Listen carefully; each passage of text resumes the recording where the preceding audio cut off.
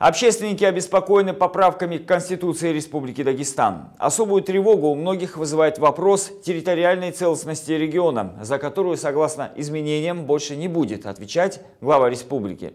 Депутаты и чиновники говорят, что беспокоиться не о чем. Журналисты и эксперты в этом не совсем уверены. Более подробно о заседании Общественной палаты расскажут наши корреспонденты.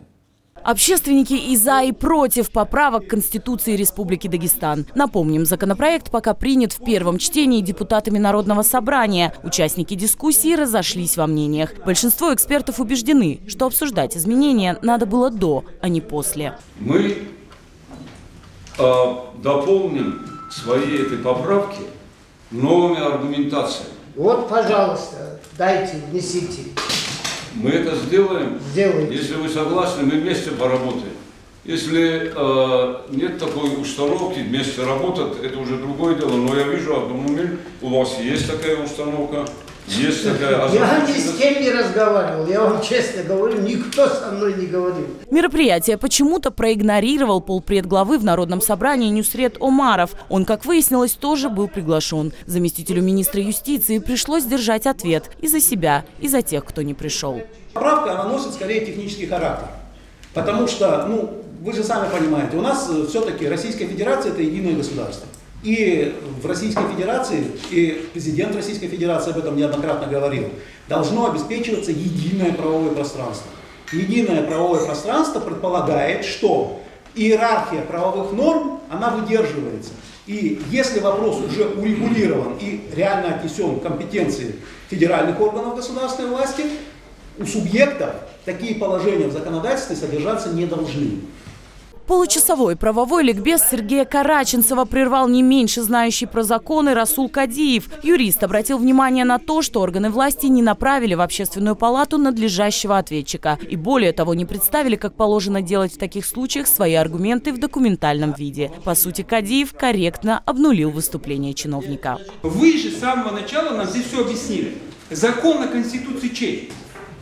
Чей закон? Это ваш закон, чиновников, это не граждан. Вы сами его придумывали, вы с экспертов не, не советовались, вы с людьми не советовались, вы его сюда даже не принесли. Все, что вы сейчас говорите, в пояснительной записке нету. Нету, точно.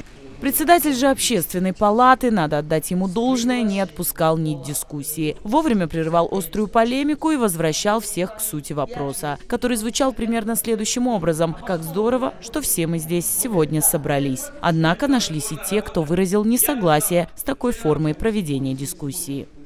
Вы не обсуждали эти поправки. Я вам, этого я вас решили общественных наблюдателей готовить. Я вас лишаю слова. Я вам не даю вы лишаете? Я вам не даю Вы не имеете права меня лишать права. Я имею право, я ведущий. Да? Вы, вы не обсуждать. Э, Я вас лишаю слова. Да, да, да, да, да. Других, я думал, значит, нет. Оставь, оставь. Да. Оставь. Значит, Всё, мы там будем разбираться Хорошо. Мы не тот орган, который э, принимает решение. Мы не тот орган, который отклоняет или же поддерживает. Ну, даже вот. Мы тот, после нашего обсуждения, мы с учетом высказанного мнения, мы здесь голосовать э, не, не голосуем, ничего не принимаем, но с учетом общественного мнения даем рекомендации тому же Народному собранию, чтобы они учли при обсуждении этой проблемы во втором чтении, учли мнение той аудитории, которая обсуждала и высказывала вот это мнение. Вопрос территориальной целостности региона в зоне ответственности федерального центра. Это, пожалуй, был единственный железный аргумент сторонников принятия поправок. До принятия законопроекта во втором чтении есть еще время. Будут ли до этого учтены замечания и пожелания экспертного сообщества, узнаем не скоро. Депутаты, которые хочется верить не меньше общественников беспокоятся за судьбу Дагестана, сейчас на летних каникулах. Лариана Шамхалаева, Арсен Набиев, Дауд Гасанов, Новости ННТ Махачкала.